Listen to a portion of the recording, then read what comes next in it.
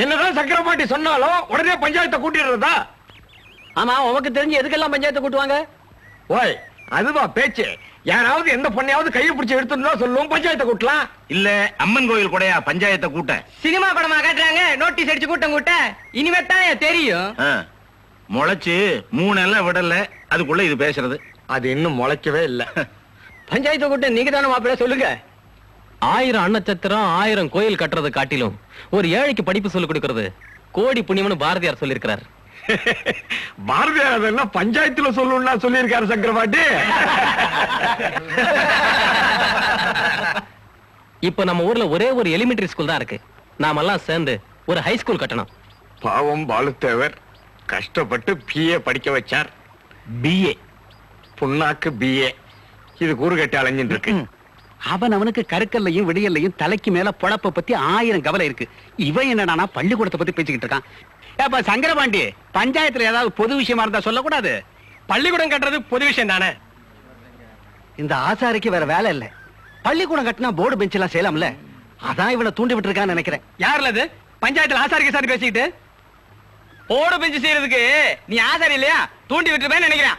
ஆசாரி நான் தூண்டி விட்டதா நீ நினைக்கிற? நான் என்ன நினைக்கிறேன் எரியற விளக்க அணைச்சிட்டு என்னைய தேடுற கூட்டம் தானே? அப்படிதான் பேச நினைக்கிறேன். அப்ப ஆமா ஐயா நாங்க இன்னைக்கு சினிமாவுக்கு போகணும்னு அவசியமே இல்ல.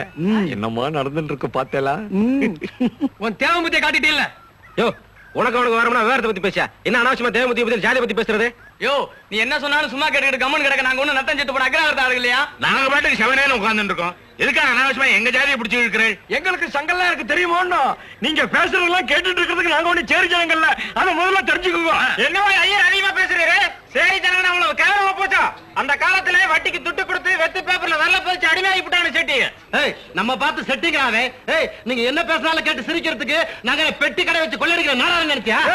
வட்டிக்கு பெற்றவன் வியாபாரம் பண்றவன் நம்மள பார்த்து நாடகங்கிறான் சொந்த கட்டு போய் இருக்கிறதுக்கு நாம என்ன கன்வெர்ட்டா ஏய் என்ன கன்வெர்ட்டுங்கிற இந்த ஊர்ல எல்லாமே கை நாட்டுக இந்த கன்வெர்ட் வந்ததுக்கு பின்னாலதான் உங்களுக்கு ஆனாவனாவே தெரியும். இதுக்கு முன்னால உப்பு பொடி மிளகாய் எல்லாம் எப்படி வியாபாரம் பண்ணிட்டு இருந்தீங்க? வெறும் நெல்லுக்கு தானே. இந்த கன்வெர்ட்டர் வந்து கணக்கு சொல்லி கொடுத்ததுக்கு பின்னாலதான் காசுக்கு விற்க ஆரம்பிச்சீங்க. ஞாபகம் என்ன?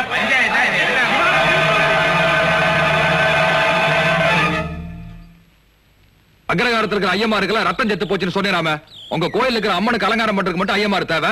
ஆனா பஞ்சாயத்துல உங்களுக்கு மரியாதை கிடையாதோ? புள்ள மரமா? தேக்கா? மஞ்ச நெத்தியான மரத்தை அறுத்த உடனே வித்தியாசப்படுத்திடுவீரு. மனுஷனையும் மரமாதனையே வித்தியாசப்படுத்திட்டீரு. அக்ரகாரத்த ஆளுகள்லாம் புத்திசாலிகள்னு நினைச்சேன். இப்படி விவரம் கட்டு போய் பேசுவீங்கன்னு நான் எதிர்பார்க்கவே இல்லை. சபையில எல்லாம் கூடி பேசிட்டு இருந்தா திடீர்னு யாரோ என்னை உசுப்பி விட்டுட்டா எனக்கு கோவம் வந்து உணர்ச்சி வசப்பட்டு அள்ளி கொட்டிட்டேன். ஆனா என் மனசுல ஒண்ணும் கிடையாது பாத்துக்குங்க. அதுக்காக சேரிக்காரங்கன்னு கேவலமா பேசுறீங்களே? அந்த சங்கனும் குப்பனும் சுப்பனும் நெல் இருக்கலனா உங்க வீட்லயே ஆட்டும் இல்ல இவர் வீட்லயே ஆட்டும் அரிசி பொங்குமா? பஞ்சாயத்துல நான் எல்லாரும் இப்ப யாராவது தப்பா பேசினா? தட்டி கேட்க வேண்டியவரே நீரு. நீரே குளறுபடி பண்ணிட்டீரேன் படிக்காத தற்கொலை பள்ளிக்கூட வாத்தியாருக்கு பாடம் சொல்லி கொடுக்குற அளவுக்கு வச்சுட்டீரேன் இங்க ஓடுத தாமரபரணி அந்த கரையில வாழ்ற நம்ம நெஞ்சில கரை இருக்க கூடாதுங்கிற. அது வெறும் தண்ணி இல்லங்கிற. இங்க இருக்கிற சங்கனுக்கும் சாஸ்திரிக்கும் செட்டியாருக்கும் நாடாருக்கும் அவ்வளவு ஏன்? எனக்கும் உங்க எல்லாருக்குமே அதுதான் தாய்ப்பாலுங்கிற. இந்த மண்ணு எனக்கும் போது உங்களுக்கும் போது.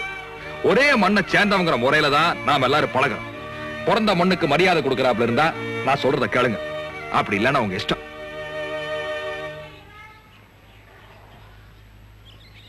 இனிமே நாங்க ஒத்துமையா இருக்குங்க. கன்வெர்ட்டுங்கிற முறையில சொல்றீரா? இல்ல பொதுவான பள்ளிக்கூட வாத்தியாருங்கிற முறையில சொல்றீரா? பள்ளிக்கூட வாத்தியாரா சொல்றேங்க. ஜாதிகள் இல்லையடி பாப்பா. ஜாதிகள் இல்லையடி பா